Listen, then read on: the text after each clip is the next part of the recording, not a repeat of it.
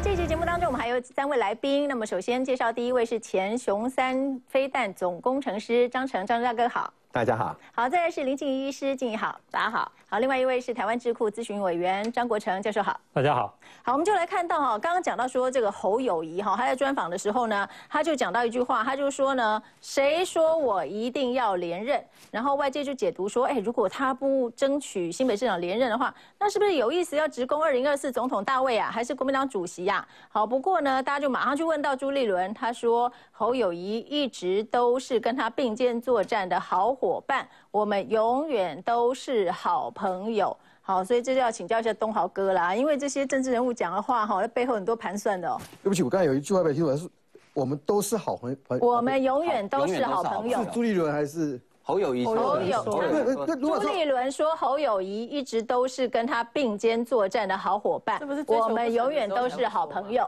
如果是朱立伦讲，还好我刚才不小心以为是侯友谊讲的。哎，这有差因为因为那就差很多，因为朱立伦是他的长官。对。好，但是你再回来看这件事情来讲，你看，呃，朱立伦这样的讲法，呃，其实也很怪。为什么很怪？就是朱立伦跟侯友谊关系到底是什么？嗯，我们所听到的，其实这两个人也是相敬如宾。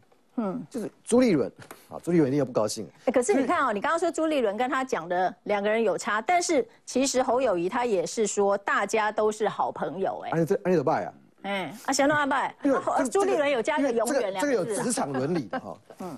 这个职场伦理怎么样？就是说，因为朱立伦是提拔侯友谊担任新北市副市长。嗯，我我那么讲哈，就是那个时候，呃，侯友谊在嗯警警察大学校长的时候，其实蓝绿都有人找他。其实那时候有他不同的选择。那因为那一年其实呃，民进党也在找，比如像陈明文他们也在找嘉义县县长的的的人选。那朱立伦呢，则是找到了侯友谊，就是呃，因为因为侯友谊在在桃园的时候呢，呃，朱立伦是他的长官，他是他是桃园县县长。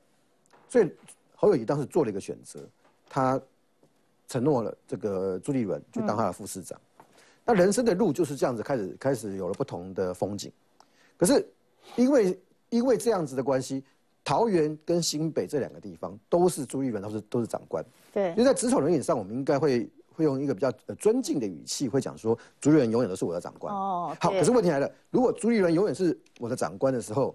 那万一要选党主席，朱立伦是势在必得了。嗯，侯友谊怎么去跟他抢？除非侯友谊不想这件事情。那侯友谊不想这件事情呢？好，这个这个不是我跑到的，这个就必须讲我另外一个好朋友叫尚义夫。好了，有呃，其实，在自由时报出来那一天呢，我跟尚义夫两个人，我们就在聊这件事情。那那尚义夫就有打电话就问，就问到一件一一件事情，也就是说，江启臣的那个党主席补选的时候。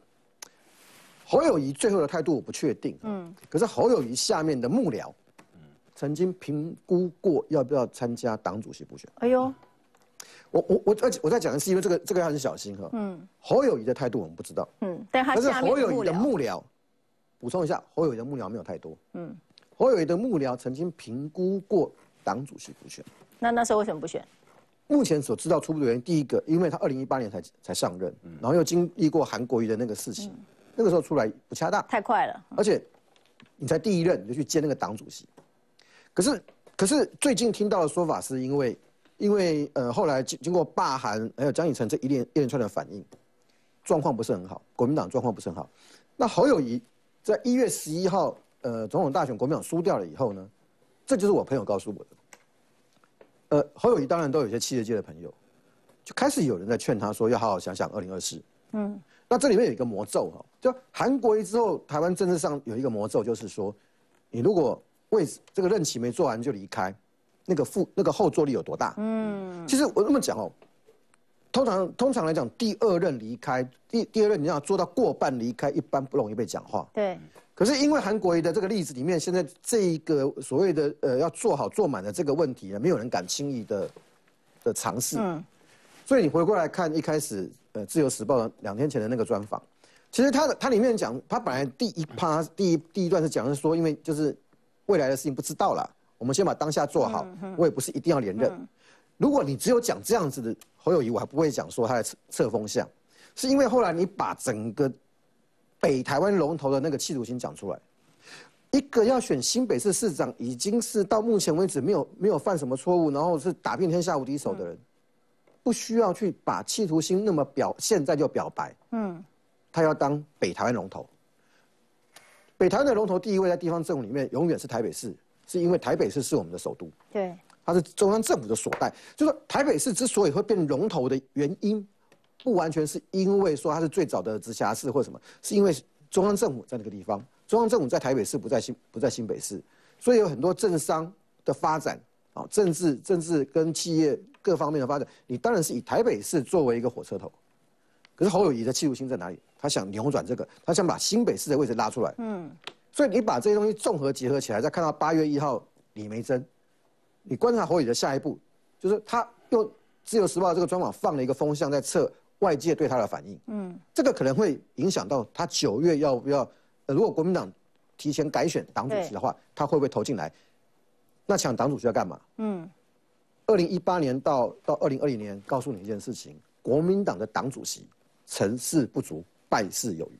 嗯，所以党主席很重要。哦，好，来磊磊怎么看啊？那个其实侯友谊有企图心哦，其实这个是人之常情的。你今天你想想看嘛，那个当初韩国瑜，事实上那时候韩国瑜很多人劝他说，你只有做高雄市市长就只做三个月，你一下子去选那个总统，那你你大家没办法接受，尤其是高雄人没办法接受。可是说韩国瑜他心里想的是什么？他说：“我好像从来没有离总统位置这么这么近过。”嗯嗯。哦，那个时候很多人拱他，你看那个韩魂多疯狂，韩魂多多那个，所以他认为说他离总统位置是最近的一次。假如他这一次不出来选的话，那还要等到什么时候？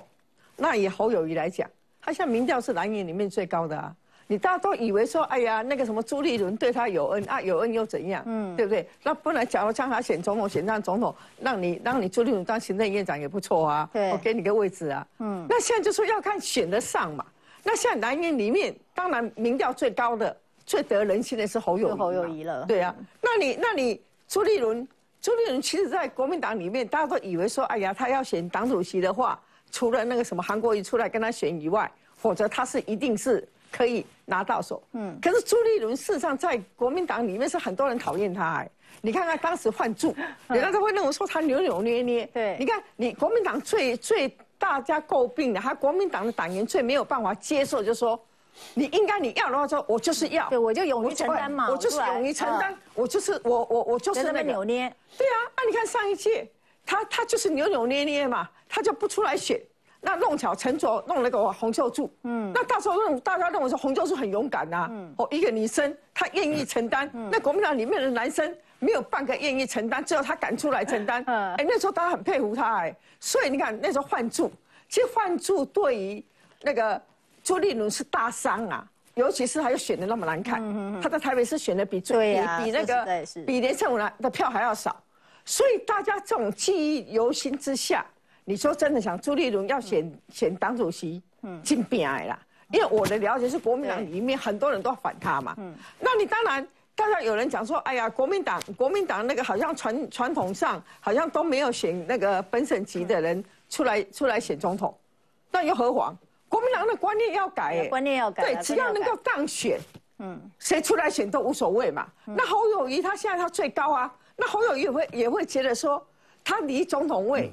比较近的时候，近的时候，那他假如他再等 再等四年，大家都知道政治是很冷淡的。你看看那个那个柯文哲就是一个最好的。所以他们两个互相说什么，我们都是好朋友，那到时候也不讲讲，当然会这样讲啊。他总会说我们两个是竞争对我们两个是通常拿刀互砍前都会这样，都会这样，一定是这样讲，政治人物都先这一招了哈。好，我们呃稍后回来哈，我们再来谈这个呃有关于这个部分。不过我们现在看到就是有关于哈这个疫情的部分了，因为现在全球感染武汉肺炎的人数呢不得。得了，已经超过了一千七百万人，而且呢，死亡人数超过六十七万。我们先来看看这个最新的新闻带。面对病毒侵略，一堆人口罩不戴就是不戴。美国多州持续爆发疫情，死亡病患已突破十五万人，包括铁齿坚持拒绝口罩的共和党籍众议员戈莫特也证实确诊，害得至少三名同僚自我隔离。司法部长也陷入染疫风险。If we don't do something to change our course, we will have multiple hundreds of thousands of deaths in this country. 不止美国，日本也水深火热。二十九号首度单日病例破千，东京、大阪都破纪纪录，连最后净土岩手县也失守，四十七都道府县全面沦陷。ついにいよいよ来てしまったなという感じで、これからの影響がすごく怖いです。県外からめっちゃ来てたし、出てもおかしくないかなと思ってましたけど。还有中国疫情也谷底反弹，二十八号新增确诊一百零一例，创三月以来单日新高。新疆最严重，北京也连续第二天出现确诊者。法国二十四小时内新增新冠肺炎确诊病例一千三百九十二例，累计确诊十八万五千一百九十六例。法国疫情回温，单日新增近一千四百例，创一个月来新高。印度超过一百五十万人确诊，维持全球第三高，成为染 疫增速最快的国家。俄罗斯二。十四小时内有一百六十九名病患不治。总统普京警告应对秋冬疫情恶化，全球疫情继续爆，民众想出国恐怕还得再缓缓。三立新闻陈佩报道。好，我们台湾这边呢，疫情趋缓，可是我们看看其他国家，真的很惨。全球确诊现在超过了一千七百万例，超过六十七万人死亡。好，现在呢，排名这个最严重的还是美国，再来巴西，然后再来是印度。但是呢，你看看哈，最近二十四小时新增的 Top Five，Number One 呢是巴西，再来还是美国，然后印度哦。好，那么除此之外哈，我们就来看看这个最新的统计资料了哈，就是到台湾时间今天上午四点多钟，那么美国累计确诊。四百三十九万八千多例，死亡人数突破了十五万人，来到了十五万六十二人。那么在美国这边哈。当地还有很多意见分歧哦，像是这个工位专家、好莱坞明星啊，哈，很多人都说要戴口罩啦。可是有些民众还是认为说，我的身体是我自己的啊。然后也有人说，那些数字都是假的啦，政府骗你的。所以呢，还是很多人不戴口罩。那包括法国也是有疫情回温，日本也是有这样的情况。来，对，其实你你去看最近全球的统计数字，你真的会吓一跳哦。最近六周。全球病例大概增加了八百万。哎呦！可是大家，你记不记得前一个八百万花了多长的时间？从今年的一月一直到六月中，整整花了五个半月哦。嗯。第一个八百万是花了五个半月。五个半月八百万。第二个八百万六个礼拜。笑死人呢。那我我不希望有第三个八百万。如果照这个速度下，第三个八百万可能搞不好几天而已，搞不好一个月就就结束了哦。哇！所以大家生活在台湾哦。呃，会有一种错觉，就是哎，这个疫情好像没什么事，没什么问题了嘛，啊，嗯，你看那个，我刚刚看那新闻，那个报复性旅游，日月潭七亿的商机，那个卖卖卖铁蛋的阿婆卖到手都快 快软了，哦，就大家报复性旅游，你活在台湾，你会觉得这个疫情好像结束了，哦，甚至我们现在台湾买口罩还可以挑喜欢的颜色买，对呀，这是多幸福的事情，有马卡龙色啊，对对，可是马仕色的，你看全世界的疫情，尤其最近这一个半月以来。其实比第一波爆发来的更严重，嗯，尤其这一波集中在，呃，南半球，巴西，其实还有一个国家被很多人遗忘，厄瓜多，嗯，厄瓜多已经惨到是，人得病往生之后，他是已经曝尸荒野，哎呦，因为不要讲医院没有病床，连冷冻柜都没有了，啊，可是大家别忘了，厄瓜多是全世界排名前面的石油产油国，嗯，这个国家变成这样，所以你你去看这个状况，你就会发现说。呃，这个病毒第一，它越来越狡猾。哦，就是它的传播的途径各种，然后再来就是我我不觉，我觉得这些欧美国家的人，我下面教你 T K 嘞。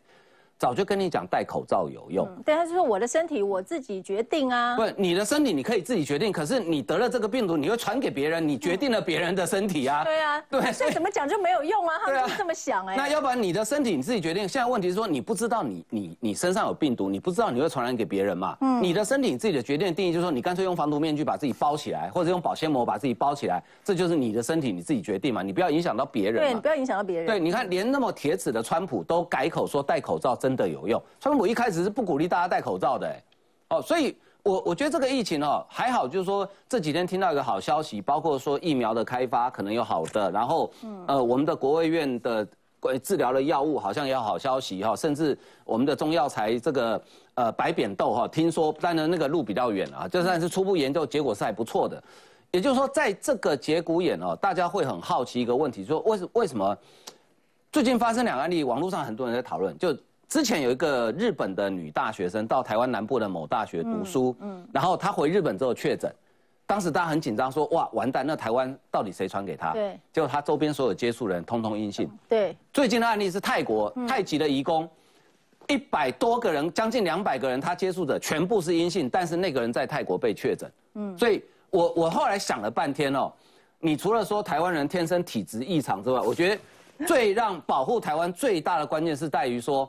我们还是比较习惯勤洗手跟戴口罩，虽然最近戴口罩的人已经少很多了啦，但是我觉得还是有一些人会保持这种习惯。所以，因为我们多了这一层的保护，所以台湾现在感觉好像不在地球上，感觉我们是在火星上，跟这个病毒是有点距离的哦。可是我觉得真的不能掉以轻心，因为你从全世界来看哦，这个病毒甚至比前一波今年初刚爆发的时候来得更可怕。哦，所以真的不能够掉以轻心哦，哈。那跟我们比较近的，你看看日本，日本昨天就增加了一千两百六十四例哈，对，刷新了单日记录哦。东京、大阪都新增了超过两百例，然后最后净土就是这个岩手县也宣布新增两例，所以现在呢，日本四十七个。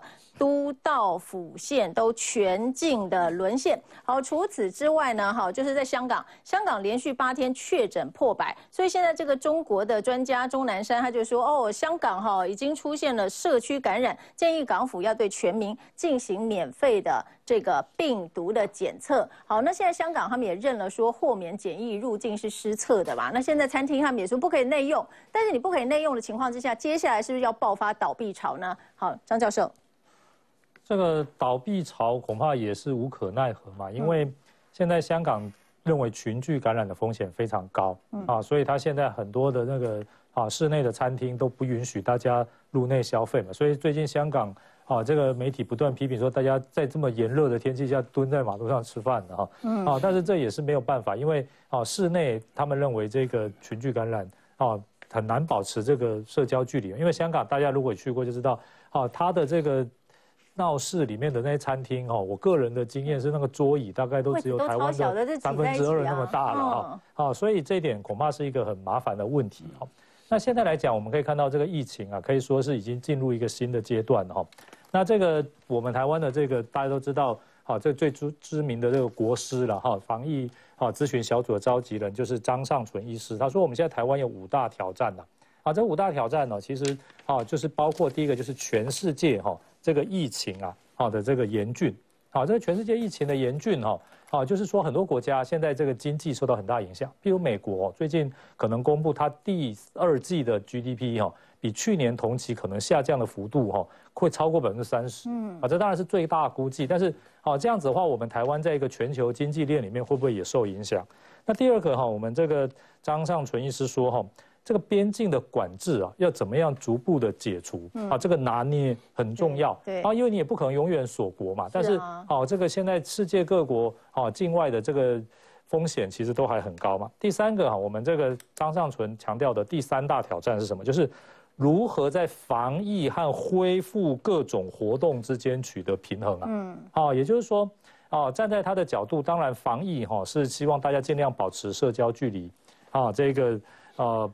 尽量的注意到个个人自身的卫生，可是呢，各种活动哈，一旦蓬勃开展，像大家看到最近报复性消费、报复性出游哈，啊，这一点无可厚非的哈，要保持很充分的社交距离哈，是有其困难度的啊，所以啊，这个我认为这一点是我们现在很重要的一点，就是怎么样在防疫跟各种活动之间取得平衡哈。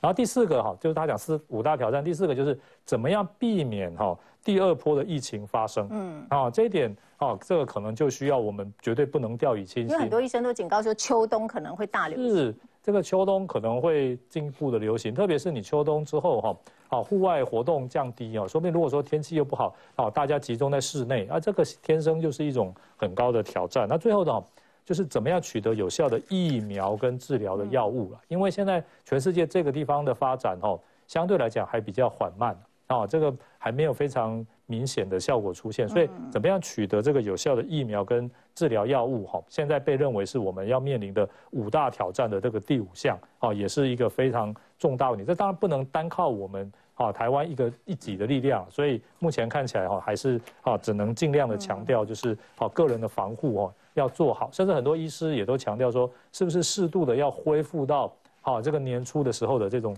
警觉心哦，恐怕是有那个必要。好，那这一点就要问静怡了哈，因为像陈时中他就讲说，国际疫情是有海啸，但没有来袭啦。那当然大家也非常关心说有关于边境的管制。那现在德国方面他们是有呃一个疾病防控机构，还发出了所谓的悲观警讯，说我们现在正处于急速扩展的大流行之中。他们说，因为度过了平稳期之后，德国就出现反转的趋势，因为人们。放松警惕，所以他就警告说，我们现在是处于一个急速扩展的大流行瘟疫之中。那你怎么看？因为我们刚刚也讲到嘛，就是在短短的这个时间之内，就经增加了八百万的这个确诊病例。其实本来那时候，因为它是一个冠状病毒，大家认为可能秋冬的时候疫情会上来。那那时候的假设是说，天气热了之后，疫情应该会好一点。对。可是你现在看欧美的状况，这次病毒非常麻烦。我想根本没有什么秋冬的时候会回来，现在就已经全球都在回来了。对，那其他的国家，它只要因为这个东西，它会牵涉到你，一定会跟经济有有所冲突。当每一个国家它要防止疫情的扩散，就是要叫大家都在家里面不要出门。嗯，问题是这个会冲击到很多国家的经济，所以他们势必要开门出来。开门出来之后，你的疫情就一定会上来。那疫情上来严重到一个程度了，这些国家就会说，大家通通再回到家里面去，再封封城，不要出门，好，就闭锁。然后大家都不出门之后，哎，你的疫情就会下下来一点。可是因为它整个社区族群里面都已经有感染者了，所以一定会不停的有感染者在这些国家，然后一波一波的出现。那很多人在谈疫苗哦，我我觉得没有错，疫苗是一个现在全球，因为这件疫情是它终于发生，是全球都发生，所以每个世全世界各个主要国家都在研发。嗯，那这是一个难得全球一起针对同一种病毒的研发。疫苗的一个时候啦，因为比方说像登革热那种，只有我们东南亚的，就我们就我们在这边认真做疫苗，没有人要理我们啊。可是这个疫情是全世界都要认真做，但是大家想想看哦，疫苗有没有那么乐观哦？疫苗的研发，在科学的研发来讲，我是认为应该有机会。好，应该今年年底、明年年初可能会有一些呃还不错的报告出来，但是有几个问题：第一，疫苗的数量够不够打？嗯，保证不够。嗯，对。第一个保证不够，因为你疫苗的原料你要用所谓鸡胚胎，好，这个东西你全部的数量你不能说我全部只做这支疫苗，其他疫苗都不要做了。嗯，所以你一定不够全部的人打。那就算台湾到时候有疫苗的话，一定也是特殊族群先打，比方说医疗人员，因为我们我们是接触太多人的人，我们可能要先打。或者我认为像军人，因为他们在像那个磐石舰这样子，你要军舰你要出去群聚集体，那你又是重要国家任务，你是一个不可避免任务，那你打。但是你说，哎，我是一个二十八岁的年轻人，我想去日本玩八天，所以请给我一支疫苗，不可能，我家我家里很凶，没有这种事情。那就像刚刚连焕哥讲的，你说像美国，美国有一些人他德国麻疹疫苗都是抵死不打的，嗯。疫苗叫他那个口罩叫他戴，他抵死不戴的。嗯，你说我疫苗研发了之后，他们会愿意接受疫苗的施打吗？嗯，所以有些国家，它光是就算我数量还算足够，某些高高危险族群，他可能也不愿意施打。那我们一直认为说，疫苗的施打，你要达到所谓群体免疫的效果，大概这个群体你要有七到八成的人都打了疫苗有免疫力。那呃，即使今年年底到明年年初疫苗研发出来，数量有一定的数量从群体开始打，我觉得要打到全世界的人有一定群体免疫力，你还要好几年。对，还要好几年。嗯，再来就是说，现在这个疫苗，因为全世界所有的疫苗在研发过程中，它没有那种说我研发半年就上市的啦。你进展再快都没有这样。临床实验什么？你的临床试验、人体试验，我都要先看你过了几年之后是不是还有效。嗯，那这支疫苗就算年底或明年年初研发出来。那我也只能说，哎，你打了之后可能三个月有效啦，因为我实验做到现在才三个月嘛。那半年后呢？半年后我不知道哦。那这支病毒又是一个不断突变的病毒，也就是说，我的疫苗研发出来之后，就算我开始施打，我没有一家厂商敢确保你疫苗施打后的半年它还有效。那它可能会效果慢慢降低，可能变成本来是八成的效果，变成六成的效果。意思是什么？我们每一年打流感，是不是也没有告不会告诉你百分之百有效？所以你不会因为我打了流感疫苗，我就去跟流感的人蹭来蹭去。不会啊，我还是会戴口罩啊。嗯，你你的逻辑都一样。所以其实疫苗的施打，长期来讲，它是一个全世界在没有办法之下寻求的解药。但这个解药哦，它真的不会这么快速的在一呃半年呐几个月之内就告诉大家说哦，回到正常生活吧。这是不可能的事情，所以其实我真的要讲说，中国这一次的隐匿疫情哦，它真的是全世界最严重的罪人。嗯，我们要很严格的谴责这件事情，因为这个噩梦不会这么快结束。大家不要觉得说我呃疫苗出来之后，这半年之后我就可以自在的去日本玩，自在去哪里飞。你想想看，就算台湾现在我们这么好的一个环境里头。你有你有疫苗可以打，或者是你周边的人有一定安全程度，你搭飞机，你旁边那个印度的。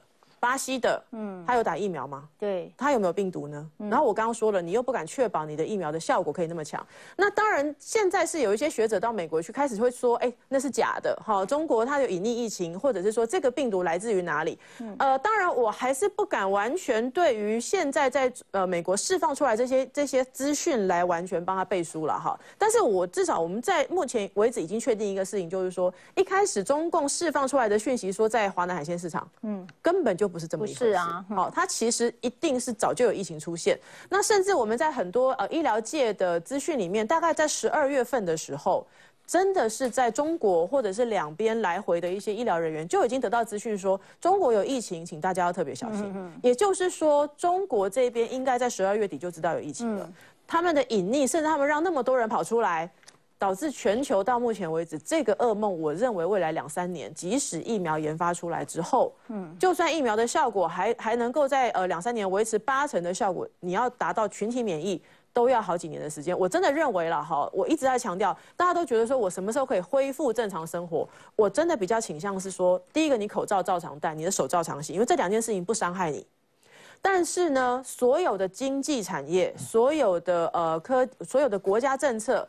你重新要思考，是要以一个还持续有疫情的年代，你的经济要怎么运转了？不能再去想象说我可以恢复正常生活，这是没有办法那么真的是没有办法那么快哈。好，不过我们看到，就是因为中国他们隐匿疫情啊，然后现在呢就引发了这个全球对他们的这个抨击嘛，变成全民公敌之后呢，中美的关系就越来越紧张。我们就来看到哈，现在最新的状况，这个 BBC 中文网他们就引述了中国一个学者的说法，说南海危机不会扩大，说真正的危险在台湾。对北北京来讲，只有夺下台湾，把台湾作为核潜艇的基地，才能够在未来真正有能力跟美国对抗。哎，他到底怎么讲的？我们先来看看。其实现在呢，全球很多的国家啊，是越来越多国家都在挺台湾。我们看看美国跟澳洲现在也联合挺台湾加入国际组织，他们还发表声明，而且批评中国破坏了区域和平。来，张教授。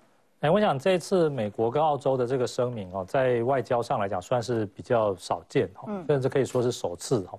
好，那主要原因是在于说，澳洲是我们新南向十五国里面除了啊东南亚以外一个非常重要的一个这个目标了哈，也是一个啊强化合作的对象啊。澳洲跟纽西兰，那这次呢啊，美国特别选跟澳洲的外长联合发表声明哈，好，其实代表我们对这个地区的努力啊。啊，以及新南向的成果已经逐渐的受到肯定了。当然，这个需要做的工作还是非常多了哈。而且呢，这次这个美国特别强调，就是说支持台湾参与这个国际组织了哈。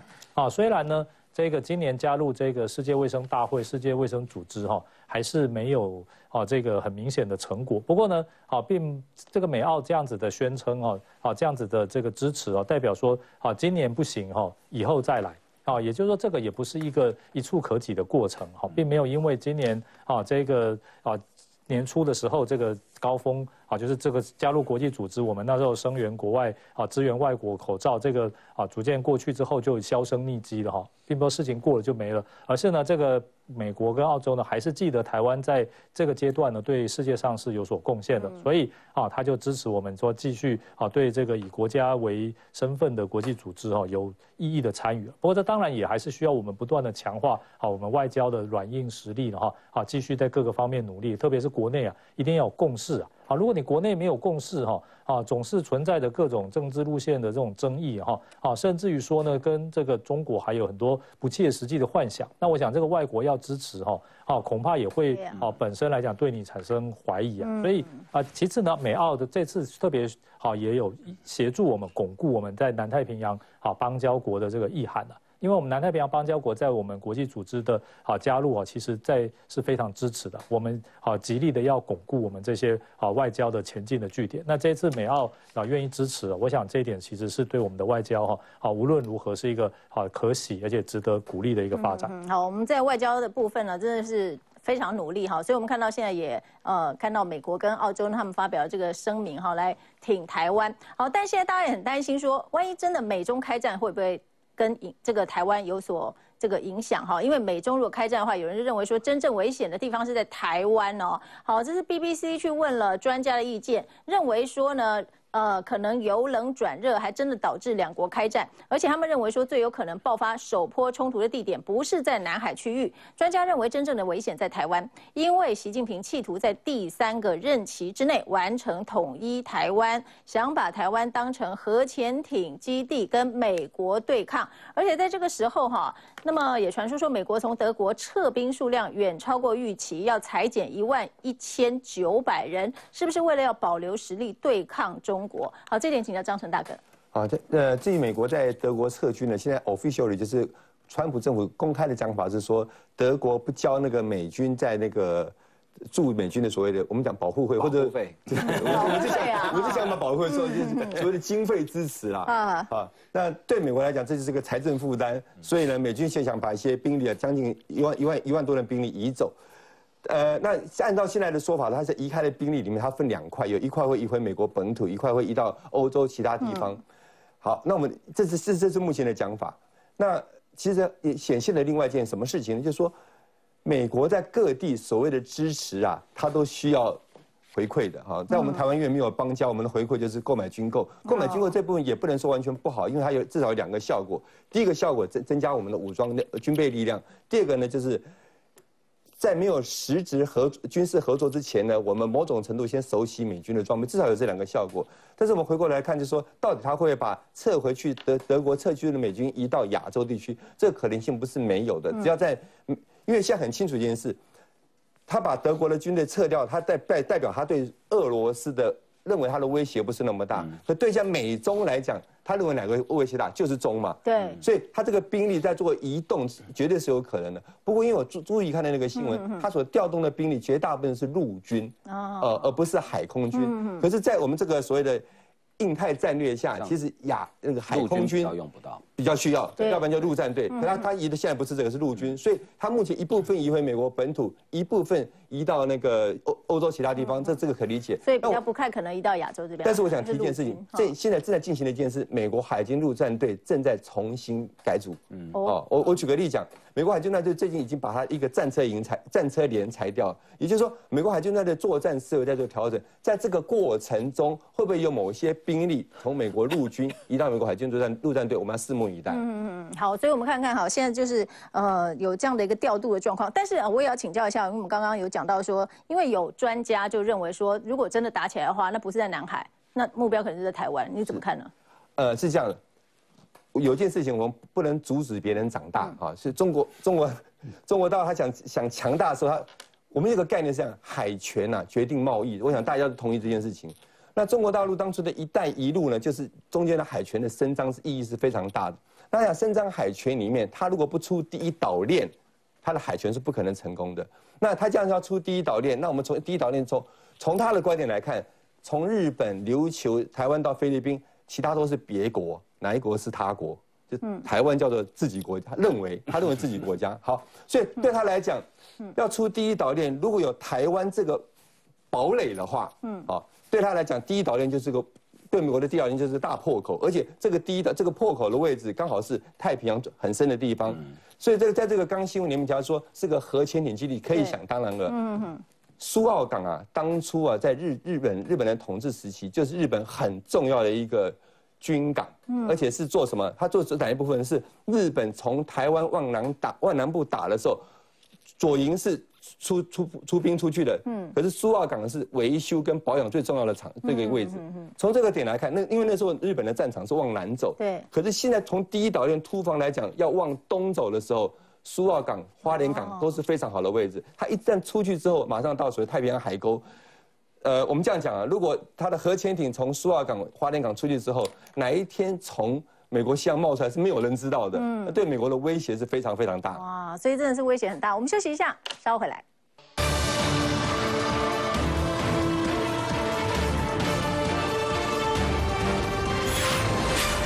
好，回到前进新台湾，我们看看台北军售可能有新进展哦，因为现在传出说呢，美国可能会卖给我们海马斯多管火箭系统，我们带你来了解。好，我先请教张成大哥，海马斯哦，到底它的战力有多强？呃，我先讲一下这海海海马斯英文什么？那我们来回头谈它这样。对，它叫 High Mobility，那 H I M 哈，嗯，Advanced Rocket System，它是一个火箭系统。嗯，那这个这个在我们我们在军事上的把为把这个火箭呢怎么称呢？它火箭其实是个载台，它可以上面可以带不同的弹头。好，那这个这个火箭的射程有三百公里。嗯，那上面可以带不？为什么叫可以多多功能载台？它它上面带的弹头就可以带很多了，高爆弹可以带，燃烧弹可以带，甚至电磁脉冲弹都可以带。那我今天如果过分一点，违反国际公约，我连地雷都可以带，嗯就是地雷到那边降落都可以。好，那它可以达到三百公，这个背景怎么来的？是在三四年前我们汉关三三号演习的时候，我们在做兵推。那时候美军评估评估我们跟对岸的那个实力来看的时候，美美军认为，如果哈我们可以做所谓的远距歼敌，就源头打击。嗯。什么叫远距歼敌？就是如果我们台湾的火力施展可以到达，譬如说到湖北、安徽这个地方，如果可以到那个地方，那是那那他们第一线的战机就在。浙江、广东、福建这些战机机场就必须往后退了。对，因为我这边我前面都这边都可以打了。嗯，所以那时候就就跟我们构构思说，我们怎么样建立这种所谓远距歼敌的实力？在这个背景下，我们就谈到三样武器了。第一个武器呢，当然就是我们将等会要跟大家介绍海马斯。海马斯。第二个就是我们的那个万箭弹，好万箭弹。第三个呢，就是我们据说我们国国军生产的那个巡弋飞弹。嗯，这三个飞弹，如果我们可以建构一个五百公里的防线。然后源头打击的话，那它整个就要往后退。那我们那时候国军提出要重层贺阻的概念，所以一层一层来看。嗯。第一层就是海马斯，海马斯大概就是大陆沿岸，我们三百人到大陆沿岸。第二层就是万箭弹。嗯。第三层就是巡弋飞弹，这样把它建构，把把我们的防护网从我们海滩岸整个推到对岸去。那我们现在谈谈海马斯哈，海马斯我刚刚大大概提了一下，就是说，哎，它是一个多功能的弹头，它不但可以带呃一般的高爆弹，嗯，燃烧弹，甚至。电池的电池脉冲弹都可以带之外，它最它最令人令人惊惊艳的一件事情呢，是它所造成的杀伤面积。刚刚我们在广告的时候跟梁广哥聊说打不准，它就是打不准，但是要打面，它那个面有多大哈？纵深大概两百公尺，宽大概一公里，这么一个一万有十二万平方。打点，它打面。它平十二万平方公里，里面有多少颗那个弹呢？这这个火箭是母弹哈，它打多少只？七千个以上，就我刚才讲的高爆弹带了七千个，就就撒在这个面上面，这杀伤力是非常大的，耶，好可怕。就也就是说，今天就就毛骨悚然哎，比武汉肺炎病毒可怕。就是说，今天如果说我我这样我们这样说，如果说今天有有一个有有他们在港口有军舰或者陆战队在集结，我们一个两百公尺深一公里正面啪那样打过去，嗯。还活着不多，全部人就拜拜，还活着不多了。我讲还活着不多。那从这个点来讲，就是说，我们为什么要建制这个武器？刚刚是提到说，海海港，那我我们往内推，机场也可以这样破坏。嗯，那对我们这样台海防卫就往上提升了。好，所以真的也提升我们贺主的能力了哈。但在这个时候，我们看看哈，因为我们大家都希望说能够建构防护网嘛。可是这时候美中对抗情势升温，江启臣却跟蔡英文讲说：“哎，你要谨慎面对哦，你不要把台湾变成弃子哦。”来，对，呃，我觉得。国民党的态度很有趣，特别是江启臣在他脸书哈，他写到了呃这四个字哈，呃叫做美美露变局。嗯，那就有网友问，那到底美露跟阿华田你是你是爱喝哪一种？就就很奇怪，就为什么江启臣中国这个字他就是说不出口，就一直美露美露啊。对啊，就美露啊哈，你你到底美露到底捐了国民党多少钱呢？啊，没有开玩笑的了啊，就是说，呃。在台湾是一个非常有趣的国家啊，就是说从你称呼中国的用词，你大概就可以知道它的意识形态。哦，像我我我们呃，包括我跟静怡，我们都好，我们大概我们都称呼它叫中国，因为我们尊敬它。对，因为美中其实人家的国家名字要尊敬。其实中国没有任何贬低了一些，因为他的正式的国民就叫中国。嗯。哦，那反而是国民党比较看不起，就叫人家大陆啊，大陆喜都一起，非洲大陆、南极大陆、美洲大陆还是欧洲大陆。嗯。哦，这个地球上有很多个大陆，那你老是一天到晚叫人家大陆，那中国这个国家也很奇怪，中国所有的涉外单位哈，他在对外发言的时候都自称为中中方，嗯，但是只有国台办会自称为陆方，嗯，或讲到台湾的时候他会自称为陆方，嗯，所以这个中国国民党跟中国共产党真是哥俩好哦，也就是说现代的，回过头来讲说台湾的防卫实力，除了我们要呃需要可以自我保护的这些武器之外。全民的心防是很重要，就是说，全民，我世界就人类有战争以来，我没有看过哪一个国家，当他的国家内部不团结，他可以打赢这场战争的，那是不可能的事情。所以今天如果说对待中国的态度，哦，国民党跟民进党，因为台湾这两个主要政党，它是不一样的话，那这个对中国来讲，这是最好的机会。不要讲拿花莲港，他把台湾拿下来，都都基本上都不会太困难的事情。可是，所以，我我觉得台湾现在面此刻面对最严重的问题是说，呃，中国国民党，你到底张启成原本我对他是有期待的哦，因为他一开始讲说九二共识是历史文件，我当时还给他鼓鼓掌，我还一直支持他说，对，你要挺下去。可是现在不见了。对，对，好，那如果你还你还在讲九二共识，那九二共识已经被。呃，习近平已经定掉了，叫做它是国家统一的，就中一个中国言前提下的九二共识，它是国家统一的一个方向嘛。所以这个时候的中国国民党，其实你要去很严肃的去面对。照理说，在野党哦，你应该要去面对一个问题，就是说，当现在美中在冲突的时候，你当然你要提醒呃执政当局你要注意哦，不要变成棋子。我觉得 OK，这都是善意善意提醒。对，但是你有没有什么可以给政府一个好的建议？比如说。当美中在对抗冲突的时候，台湾可以站在哪里？好，台湾的地位是什么？很多人讲说啊，这个两边不要选边站。我跟你讲，台湾在美国跟中国之间没有选边的问题。嗯，我们只能靠美国。难道你要靠到中国吗？因为中国是要并吞你的国家，你怎么可能去靠过去呢？所以我们只能往美国这边靠。只是说，呃，在战术上、战略上怎么做，要获取我们台湾最大的国家利益，这个其实是在野党责无旁贷，应该要提出来，要提醒执政党，也要建议执政党的。哦，所以刚刚年焕哥讲一个重点嘛，你就说真的，呃，有这个对外情势很紧张的情况之下，在内部一定要先团结啊。对啊，所以呃，这个大陆国民党党主席江启臣委员，不是，我觉得这样讲不公平的。没有，我要讲一个，不要随便扣帽子啊。那那这样你就叫中国嘛。第一个事情，我们其实这样讲非常糟糕。你大家现在都讲叫美中关系，不会有人叫做美陆关系啦。其实美陆，因为大家比较常用的词叫欧陆，美陆美陆叫做美洲大陆，欧陆是欧洲大陆。所以第一个，我觉得它其实为什么要特别这样用？因为没这不是一个习惯的用法，所以特别这样用是很小心的，避免用中这个字。嗯，那你在这一个言论里面说我们不要不要成为弃子，意思就是什么？好像其实，可是这样看起来是你很怕被中国骂说，哎，你不是我的，你没有乖乖听我的话，你为什么直接把“中”的这个字给讲出来了？我我觉得这是一个大家昨天开玩笑哭手半天，事实上最根本的那个问题是你连他是中国你都不敢讲嘛，你连中国你都不敢讲嘛。但是站在一个，他是一个台湾最大在野党，而且他是台台湾过去这五十年来都是他执政的。那我看了一下江主席他的这一篇呐，他就是不断提醒他讲的东西，我觉得很温情，就是说哦，现在有的国家疫情很严重，然后中国现在淹水很严重，所以大家要彼此为了人民为念。所以呃，主席你的意思是说跟中跟美国说，哎，最最近饶了中国吧，在大家先先对他好一点吗？哦，我觉得你在看的时候，我们会认为说，你对于政党的期待是他认为台湾要往哪里去。那在这个所谓正在全球这么重大变局情况之下，好，你是一个台湾最大在野党，你的立场是什么？我觉得在这他整篇的温情论述里面，其实你看不到了。雷姐简短补充，那个我是觉得是这样的哈，江主江主席他点出了这个点，说台湾不要变成弃子，是有他的典故的，因为美国也曾经抛弃过我们嘛，美国也曾经在那时候中美断交，那时候跟我们建交的时候就抛弃我们嘛。那你想想看，这个时候为什么美国要把很多武器卖给我们？我们都很清楚嘛。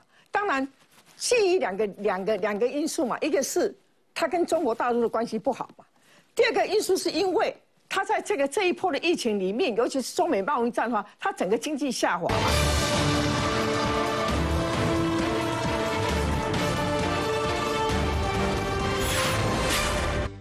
好，回到节目现场，我们看看现在中国天灾人祸、内外交迫的情况之下，哈，那么中国国务院总理李克强他就在国务院常务会议当中强调说，要帮助农民工就业创业，然后呢也说哈要稳住外贸、稳住外资，所以外资跟订单真的跑了吗？来，呃，中国的外资跟订单，你说马上大幅的跑还不至于哈，可是它会慢慢慢慢流失哈，这个流失当然会跟美国的中国包养有关。